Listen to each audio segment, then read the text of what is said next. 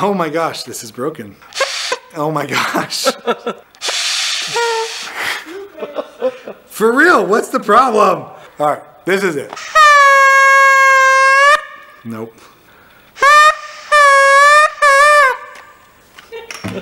Hey, happy anniversary, Restoration Church. We are so glad that you have tuned in today. Thank you for joining us for Restoration Church Online on this very special Sunday. My name is Kurt. I'm one of the pastors here. And as we kick off the message, we are excited that you are here partying with us. And, and I just wanted to say, it's unbelievable what God has done over this last year. And I just want to give a special shout out to our staff and our elders and all of our servant leaders just for the incredible, incredible job that you have done as we've pivoted pivoted, as we've gone through pandemic together. Not only did we relaunch as a church, but then we had to reinvent how we're doing everything. And so we just want to celebrate all that God has done over this last year today. And thank you for joining us. Uh, we are wrapping up a series that we started a couple weeks ago called Worst Year, Best You. How do we become the best version of ourselves even after a really, really challenging year of 2020? And so if you've missed any of the previous conversations in this series, I would encourage you to check them out on our YouTube page. But today we're talking about how do we be intentionally investing in the things of God? How do we see our resources, our time, our energy, our money the way God sees it so that we actually want to do the things that He asks us to do. So I'm so glad that you're here. When I was in high school, I was a coach for our community club's swim team. And we had about six weeks of practice before our first swim meet at the beginning of the summer. And I remember there was this one time there was a seven year old that I was coaching, and he was new to the area and new to our team, but he was really good. And I was talking with him after warm up at our first swim meet. So he showed up on Saturday morning and we're, you know, warming up and we're getting done with our practice and we're doing this little team huddle. And I, I asked him, hey, how you feeling with your first swim meet? And I want you to go out there and just do great. I want you to give it your best. You can actually win your race. And his eyes got really big, kind of nervous, and he said, it's a race? I thought we were just here to meet people. It's called a swim meet, not a swim race. And in that moment with that seven year old, I was kind of like, I don't know what to say. I mean, you're not wrong. And bonus, right? I felt really great about myself as a coach. Like I've really set this young star up to succeed today. right? But here's what we're talking about today: is you've had moments like that where you know we are going to have these conversations that something is going to shift in your brain, and it might not be what you thought it was. Every once in a while, you have one of these kind of aha moments where suddenly something about your world causes you to see it differently, whether it's a relationship or something related to your job or in school or whatever it might be. And in that moment, even though nothing actually changes, your perspective changes in such a profound way that you really begin to see the world and see yourself differently. And, and, maybe even different than perhaps the way you were taught to see it. And this is why it's so central to this idea of Christianity, this idea that the Apostle Paul references called the renewing of your mind, right? The renewing of your mind. And he, he's talking about this idea that actually our way of seeing the world, we have to learn to see the world in a different way. We have to actually learn to see the world the way God sees the world. And that way, when you hear God ask you to do something, it actually will make a whole lot more sense because you see it His way. That when you see the way that God created relationships or marriage or money or learning how you see your professional life from God's perspective, learning how you see yourself, your potential, your opportunities. When we learn to see the world the way that God intended for it to be, when He asks us to do something, it actually makes more sense. When we see the way God sees, we will actually be more inclined to do what God says because what He invites us to do doesn't become a burden anymore, but rather it's actually a invitation to something that feels like the better way. It's like, oh, of course I would do it that way because we have this renewed sense of how we see the world. That as we read the scriptures or engage in our spirituality, it's no longer a, a list or a bunch of commands, but actually the way of Jesus becomes the better option, the wisest choice, what's actually what you would want to do, right? And that's because God isn't interested in behavior modification, right? That's religion. God is interested in your heart transformation. And that is what happens when you begin to love and follow Jesus. And in fact, one of the most, you know, simple but actually life-changing prayers that you and I could pray is simply, help me see as you see, so I'll do as you say. Help me, God, to see as you see, so that I can do as you say. And so here's what we're going to talk about today, and here's where it really gets interesting. One day, Jesus is teaching, and he looks around, kind of his followers, around the crowd and the audience, and, and he has this moment where he realizes he needs to teach them how God sees these people, right? There were sinners there, tax gatherers, religious elites, all kinds of people. And he looks at them and he says, Hey, I'm going to teach them how to see one another. This is so important. And so on that particular afternoon, he chooses to tell them three different stories, parables. And in this trilogy of parables, he always has the same refrain over and over again. He talked about the story of a lost sheep. And maybe you remember that story, right? He talked about a shepherd who had 100 sheep and one got away and he went after that one. He tells a story of a lost coin where a woman had lost something extremely valuable, more valuable than we can really comprehend when we hear the word coin. But she had lost one of them and she spent all day looking for it. And when she finds it, she celebrates with her neighbors. Then he tells a story of a lost son, a father who couldn't wait for his son to return. And as Jesus teaches the group, he is teaching them this is how God views people who are disconnected from him. He doesn't write them off. They're actually that important to him that he would spend time looking for them. And as these people around Jesus are, are, are, turning to leave, many perhaps rolling their eyes, Jesus isn't finished. And he wants to teach them one more lesson about how God sees their role in the world. If that's how God sees all these people, what's our role? What's our part to play in it? And so, if you've ever wondered what Jesus thinks is the most important role that you and I can play in this mission of God, this story is for us too. But instead of saying, hey, hey, before you leave, I got one more for you, Jesus does what Jesus does because he is the master communicator. And he simply says out loud, loud enough for all of them to hear kind of in their peripheral vision as they're turning away. Oh, and there was a rich man whose manager was accused of wasting his possessions right? He, he, he had them, right? He had that hook in their hearts. They turned back around, and the trailer got them interested in the rest of the story because many of them probably were rich people who didn't really know how their household was being managed, perhaps by a slave who was over their household resources. And so as they turn around, right, they listen, they lean in, they want to know what is this story going to teach me about how to keep track of who's doing what and who has what and what things were going on in their own home. And so Jesus looks at the crowd, but in his gaze, in his peripheral vision, he sees the religious leaders watching and listening and maybe leaning in as well. So here's how it goes Jesus tells this story about a rich man whose money manager was accused of wasting his possessions. And so he calls him in and he says, You can't be my manager any longer. He says, I've heard what you've been doing. You've kind of been a little shady with my, my resources. It's been irresponsible, too many loose ends. You're fired, right? He, he just kind of lets the guy go and he says, Here's what I need you to do. I need you to wrap up all the books. You know, you have a couple days, pull them together. I want you to bring me all the accounts, but then you're done. And so this money manager is, you know, realizing he, this is not going well for him, right? But he has a couple more days to kind of wrap this up before he loses his job. And as Jesus continues to tell the story, he says the money manager went to all of the people, right? All the people who owed his boss money. And he says, I am not strong enough to dig ditches and I'm too ashamed to beg. I need to use these three days wisely to help set myself up for the future.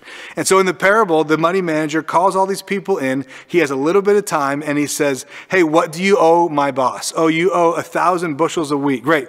Let's make it 800. We'll call it even. Oh, you owe him, you know, a dozen oxen. Let's just go with 10. And, and can you do that? Cool. You can do that now. Let's, let's just call it even. You're good.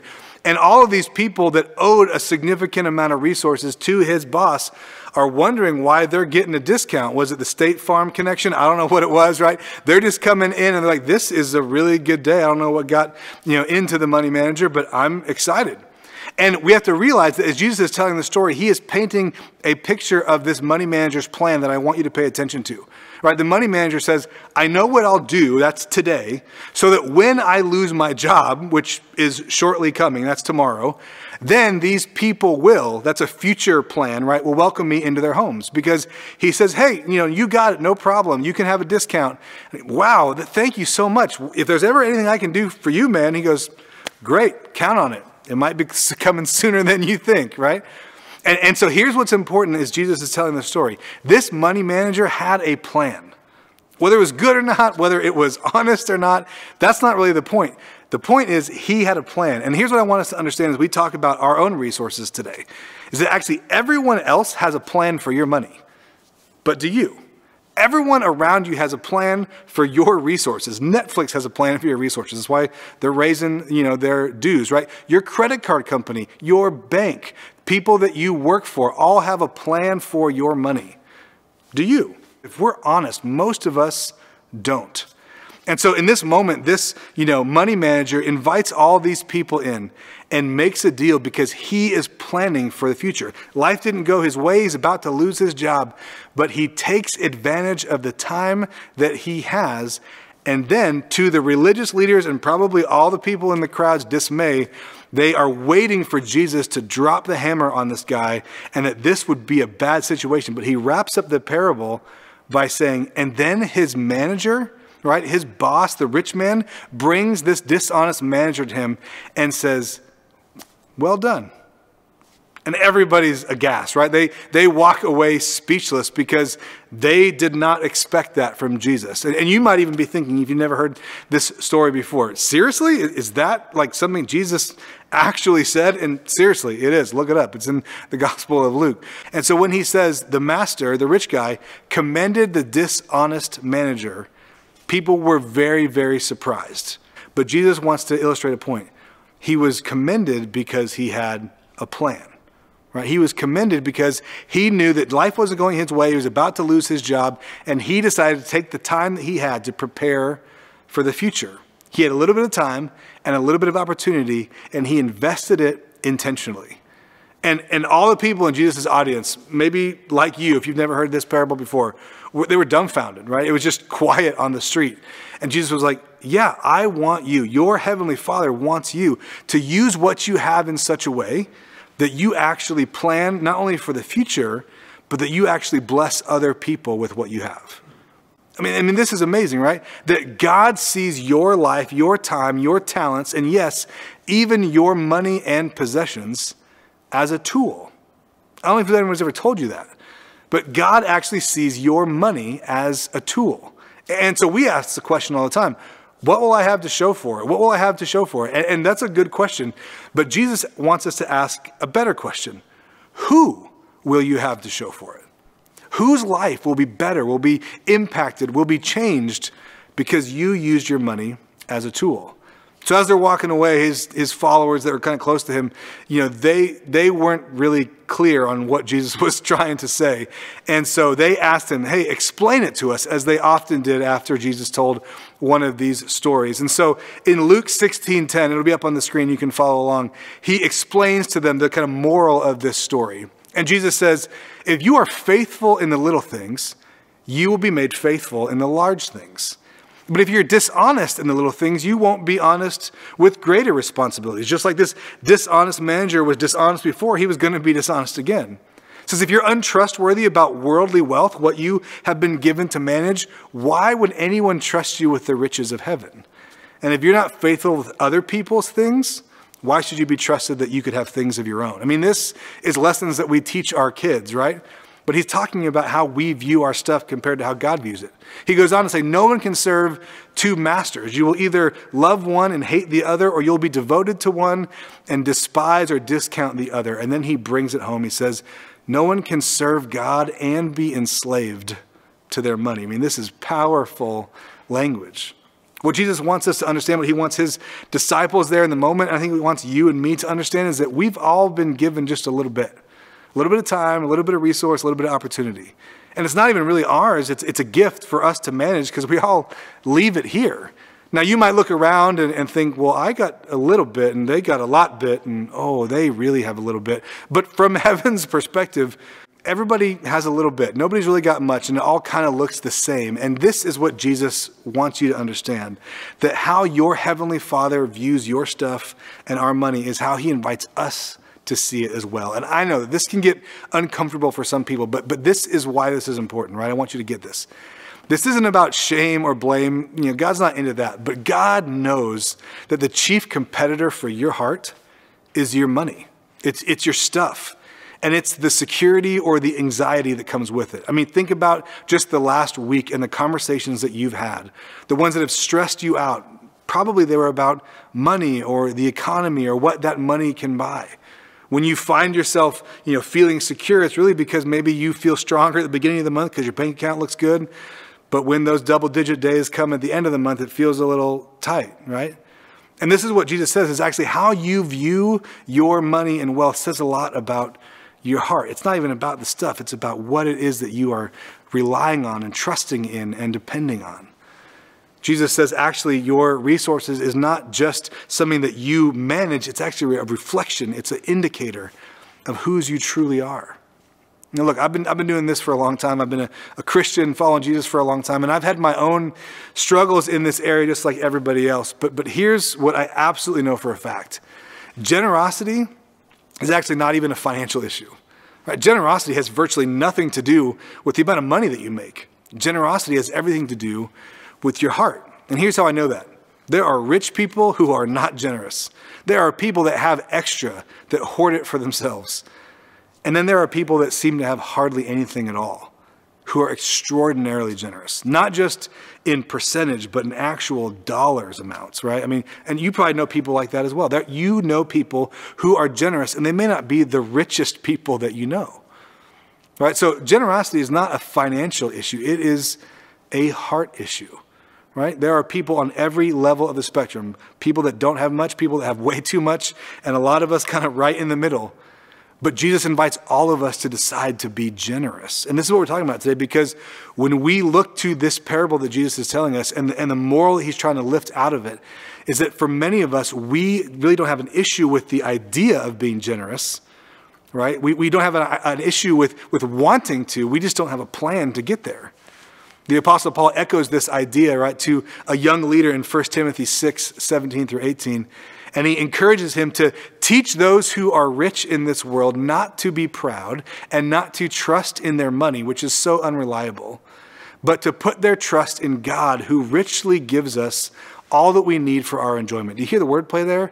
Don't trust in your riches, but trust in the one who richly provides all the things you have in your life. He goes on and says, use your money to do good Right? Money's not a bad thing. Right? It says use it. It's a tool. Use it to do good. And to be generous to those in need, always ready to share with others. So here's the point, right? Here's the way that God sees your wealth, your money, your possessions, everything that comes your way, as much or as little as you feel you have. He feels that you have been given an opportunity a little bit of time and a little bit of resource, and, and you have this opportunity to use your money, to use your possessions. I have an opportunity to use all of my money and all of my possessions as a tool to bring about the things that He cares most about. And your Heavenly Father and mine is watching to see how much of this you are willing and how much of this I am willing to turn into some form that helps other people. Because from eternity's perspective, we all have a little bit to share and God says, when you do that, when you actually you know, partner with me in what I'm doing around the world, we can make a big difference together. So, whether 2020 was a great year for you financially, or perhaps, if you're honest, it was the toughest year of your life, whether you got a new job or a promotion, or whether you lost your job, no matter what this last chapter of your life was like, you can actually begin to write a new story today, is what it looks like for you to be generous. And, and better yet, right? even out of the worst year, you have the opportunity, if you're willing, to take a step to become the best you. But it requires that you take radical responsibility for your life, just like we talked about last week. It requires that you and I take an honest look and take radical responsibility for our finances. Right? Because if you are honest with yourself, and I'm honest with myself, we have to have a plan to do this. Just wanting, just wishing that we would, not going to get us there. And so ask yourself right now do you have a plan? At the end of the month, do you know where your money went? Or at the end of the month, do you go, where'd all the money go? Right? And so here's what I want to do. I want to teach you for these last few moments we have together a principle that I've learned a long time ago that has been so helpful for me, and it comes right out of this passage. So the smartest people that I know take this to heart and they manage their money according to this principle. They've actually allowed the Holy Spirit of God to help them see the way God sees so that doing what God says when it comes to their finances, it actually makes sense to them. It's actually the better way. And I'm going to be honest with you, this plan is so simple. and it's scalable, right? It's so important that it's scalable. It works whether you have a lot or whether you have a little. It works whether you're a kid with an allowance or a CEO earning six figures with a bonus account, right? You can use this plan in your own finances. You can use this with your company. We've used this in our family since we've been married, and it has saved us from the most challenging financial seasons we've walked through, right? If you build this into your life, whether it's you know as a kid and a teenager or it's never too late to start, this will benefit you, okay? Now I know perhaps you're tuning in and you're joining us for our anniversary, which I'm so excited that you are. But maybe you're not a Christian or you tuned into church because somebody invited you. And I want to tell you, don't back up from this, right? This could actually revolutionize your life, right? There's all kinds of people trying to sell you financial wisdom. You can actually put this into practice and it will work for you and you don't even have to pay for it, right? So this plan is super simple, but we call it the 10 10 80 plan. Now you don't have to, you know, worry about that for right now because you're going to pick your own numbers, but really it's this idea that there is three categories that you want to invest in intentionally. Today, tomorrow, and eternity. So I have 20 packets of Skittles right here. So let's say that this represents what you bring in your home financially each month, right? And so we want to give in proportion to each of these areas. And so if you wanted to give 10% to invest in eternity, right? To invest intentionally into the things of God, right? Then maybe you put two of these in there. If you want to give 5%, maybe you just do one. If you want to do, you know, two and a half percent, you can kind of open it up and pour it out. I mean, you get the idea, right? So let's just say for right now, you put one of those in there. That's an eternity. That goes first. The smartest people I know, they give to what matters way out in the future first. The second is tomorrow, right? What, what is coming that I, I can plan for, I can save for, but it's not immediate. They put the next one there right? And this is exactly what that money manager did. He goes, I know what's coming. I need to plan for the future. And then if you do that, you put eternity first and then tomorrow, you get to take the rest and you put it in today. And you get to live off of this, right? You get to do what you want to do. You do you, boo, right? This is what the plan means. But when you do this, imagine just for a second that this was how you intentionally invested your resources, your little bit of time and your little bit of money in your life. Imagine if each month you did this, you gave, you were generous, you saved, you saved for tomorrow, and then you lived off the rest. Now, again, I know that this might feel so counterintuitive to everything you've thought. You're thinking, I can barely get through today on what I make. How can I do this? But believe me, think back to you know last year you. If you had been doing this last year, wouldn't this year have been easier? My, my guess is the answer is yes. I know that would have been true for me. If last year I said, you know, I can go without that Starbucks latte. I can go without, you know, that new thing, or I can go without the upgrade to the house and I can put it away so that when life comes my way in a way I do not expect, I have something to pull from, right? If you and I, if we do this, this will benefit your life. And I know this not just from scripture, but from my own story. There's been so many times when I've wanted to take out of here. I've wanted to take out of here because of what was going on here. But when I have chosen not to and I've stuck to this plan, I'm always grateful for it later. Because here's what I know about you, right? You're never going to get to the end of your life, the end of your story, and wish that you had been less generous and more selfish. You're never going to get to the end of your life, or the end of your story, and wish that you had spent more rather than prepared for the future. You're never going to get to a hard spot financially and wish you had gotten that upgrade back then. All of us know that this works, but it's so difficult to work this plan sometimes. But when we choose to do it, it benefits you. And so, this is the principle. This is how you can actually become the best you even after the worst year is by intentionally investing first in eternity, in things that matter, things that are beyond you, and then into tomorrow, things that are not yet here, but that you know are coming, to put something away, to save, to invest in your future, and then the rest you can live on.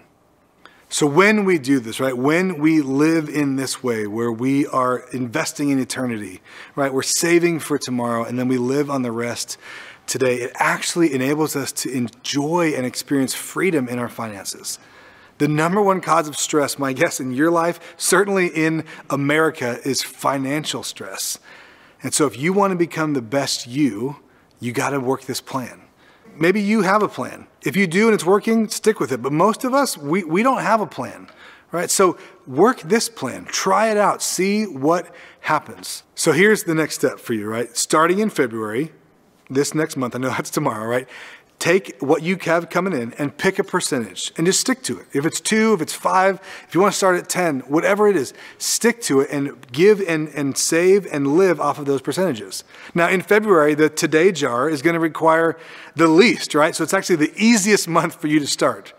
Some of you are just getting that, right? Shortest month of the year. Uh, you got it, right? There it is.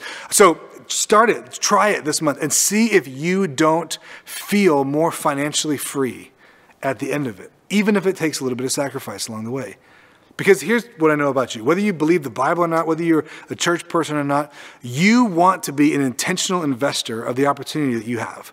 You want to take the time and the resources and, and, the, and the energy that you have here in your life, and you want to make the most of it. I don't think you'd be watching this if you didn't.